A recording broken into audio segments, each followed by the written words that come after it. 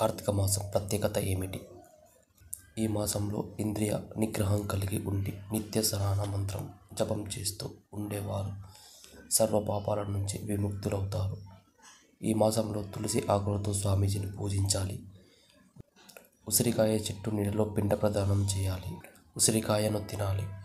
ఇవి విష్ణుమూర్తికి ప్రీతికరం కార్తీక మాసంలో స్తంభం ప్రతి దానికి ఒక పాత్రను వేలాడదీసి ఎనిమిది దిక్కులకు కనిపించేటట్లు దీపం పెట్టాలి. ఇలా చేయడం వల్ల సమస్త దేవతలకు వందనము చేసిన ఫలం కూడా లభిస్తుంది. ధన్యవాదం.